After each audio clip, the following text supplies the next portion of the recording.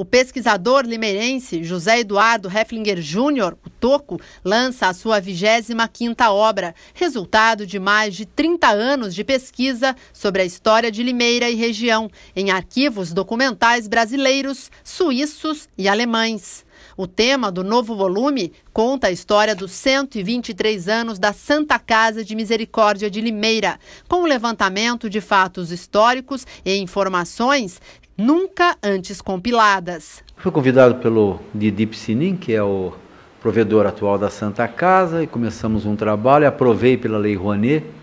e a Cirúrgica Fernandes patrocinou um livro com 200 páginas, 200 eh, e poucas fotos e capa dura e tal. E nós vamos lançá-lo no Espaço Cultural em Jep no, no dia 10 eh, de dezembro, a próxima segunda-feira,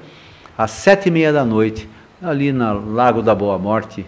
é, no lado oposto ao, ao Palacete Levi. Incentivado pela Lei Rouanet, o livro sobre a Santa Casa de Limeira destaca fatos alusivos às epidemias que assolaram o Brasil no final do século XIX, tomando como referência o município de Limeira, cidade berço da imigração europeia pelo sistema de parceria. As demandas que resultaram na instalação do hospital em 1895 e os grandes nomes, as pesquisas, o desenvolvimento de procedimentos, os anos de formação de profissionais de alto gabarito, tudo isso envolve a história da Santa Casa e está registrado no volume que será de grande utilidade para a reconstituição de parte da história da medicina no Brasil no período em que a Santa Casa também foi, um pouquinho antes e depois, a febre amarela agraçava em Limeira a ponto de alguns órgãos de imprensa da capital e tudo mais,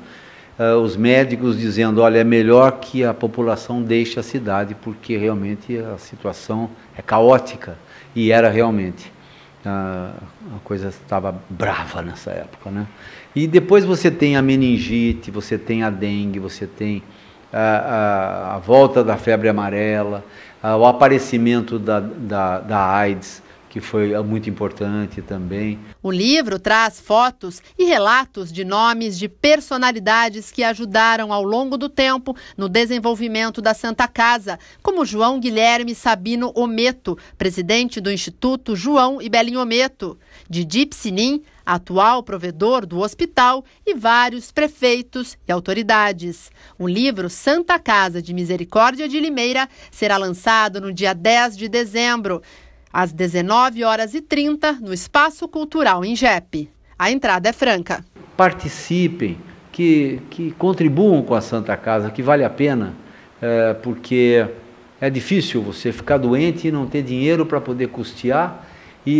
e estar num país onde os, os governantes é, têm uma insensibilidade que é assim realmente indizível com relação àqueles que sofrem acometidos de enfermidades, né?